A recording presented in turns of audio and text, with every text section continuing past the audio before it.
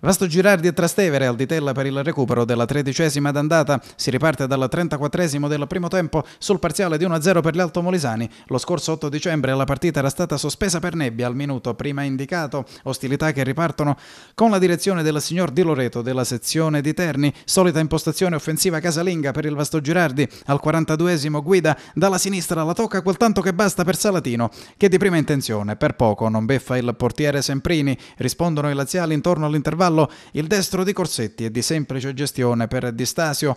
Al settimo nel corso della ripresa, lo stesso 10 del Trastevere, nuovamente pericoloso nel cuore dell'area di rigore, colpisce a metà altezza, ma la schiaccia tra le braccia del portiere. Al decimo fluida la manovra giallo-blu, sulla catena di destra Donatelli alaggia, calcia dal limite Guadalupi per questione di centimetri, non coglie i risultati da questo suo bel tiro.